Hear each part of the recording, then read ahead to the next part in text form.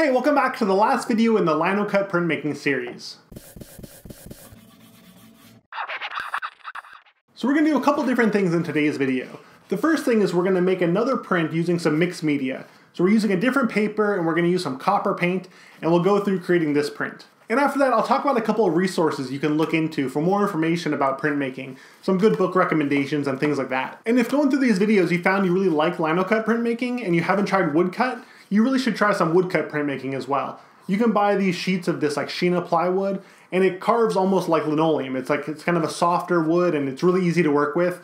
And there's all sorts of different like woodcut mediums you can work in. So let's jump right into putting together this last print. So in addition to the green for the plants, I want to do something with the pot. And I could carve another block and go through the same process, but I think I'm going to do a couple prints using watercolor, and then I'm going to use this Inka Gold, and it's like a gloss metallic paint. And it dries really quick, so you can't, you know, I'd like to use this as an ink and, you know, ink up a block with it and print it, but it dries almost instantly. So instead I'm gonna have to paint it on the paper before I print.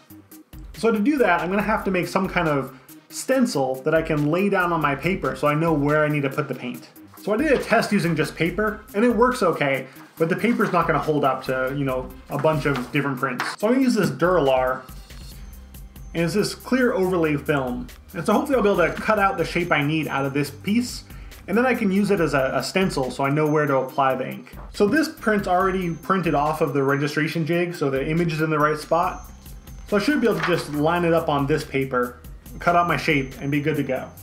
So I'm gonna go ahead and do that now. So I need to make sure I line it up exactly on the paper. So that way when I do all my prints, you know, using this, this stencil, everything works out. I really wanna hold this down so it doesn't doesn't slide around when I'm cutting it.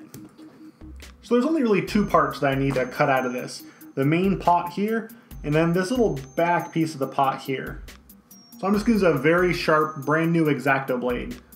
And you wanna use a really sharp one when cutting this, so you get a nice clean cut. I wanna make sure that the pot that's gonna be printed with this copper falls underneath this black line. So that way if it's not perfectly registered, the black will cover up that edge.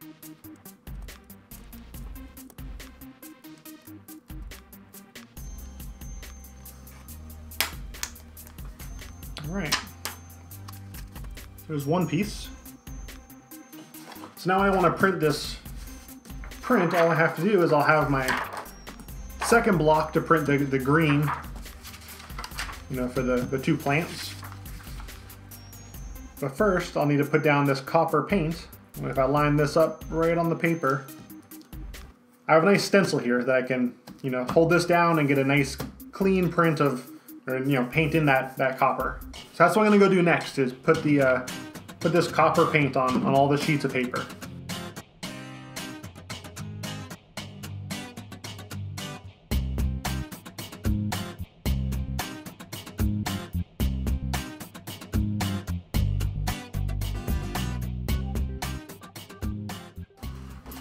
Now I'm going to print this paper, which I have the copper that we did in the previous step, and I'm going to use the same block we are using for the white paper with the green and go ahead and print that on here. there's not enough ink down it, it really won't make a nice print. It'll be kind of blotchy and just not look great.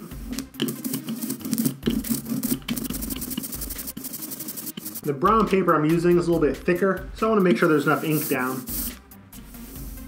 Otherwise that brown paper is going to show right through.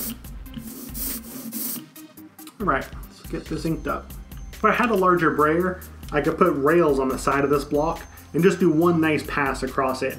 But since I'm stuck with just this small brayer for now, I kind of have to make do. But so far, it's, it's worked out okay. So here's our block inked up. Now I can set it up here in the registration jig, just like before. Make sure it's locked in. All right, the Mona Truth.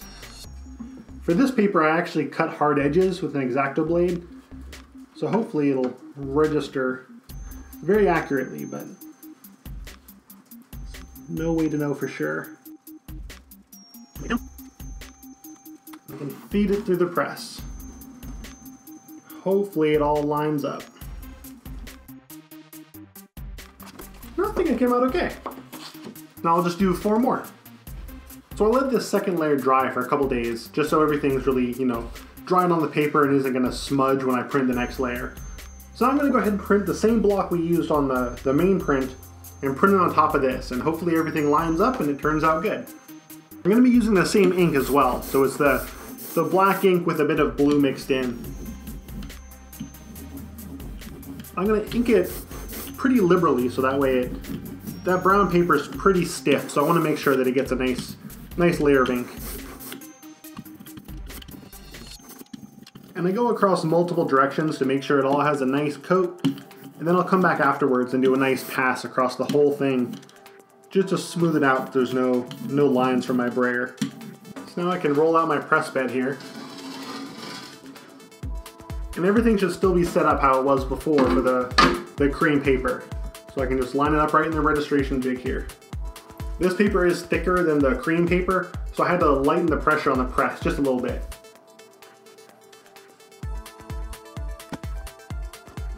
Put down my cutting mat here to smooth out that roller and run my print.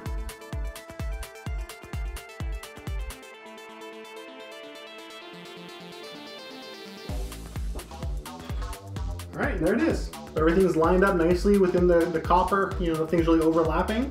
And I'm really happy with how this turned out. All right, here's the final edition of the four prints with a copper background. So I numbered, you know, titled and signed them all. And I think they all turned out really good. I'm really happy to have the variation. So I'm just gonna go through a couple of my kind of favorite resources. Now obviously the internet has lots of information, and make sure to check out the other videos I have posted as well. But this is a book I recently checked out from the library, and it's Printmaking by Beth Grabowski and Bill Fick, who are both amazing printmakers. And this book really covers everything. It goes through every printmaking process basically, and all the steps and all the information you would really ever need it has a whole lot of information about, you know, relief printmaking and wood cuts and lino cuts. So this is a great resource. You know, it's really well illustrated, lots of lots of, you know, progress shots and people making prints in it. So I definitely recommend checking this one out. So it's Printmaking by Beth Grabowski and Bill Fick.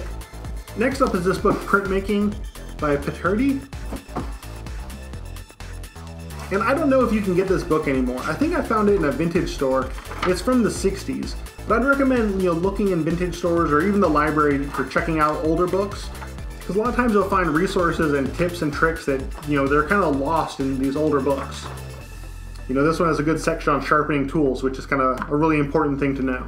And sometimes you get really lucky, like at the library I went to, they had this methods of printing and etching. And this book is very old, it's 1897, and the prints in it. So instead of, you know, it's, it's an old book, these are actual prints. So this is an actual mezzotint print printed right on this paper.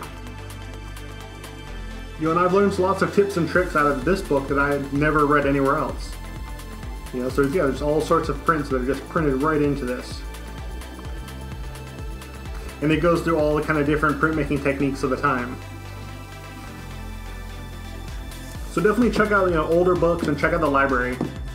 You know, I have another etching and engraving book.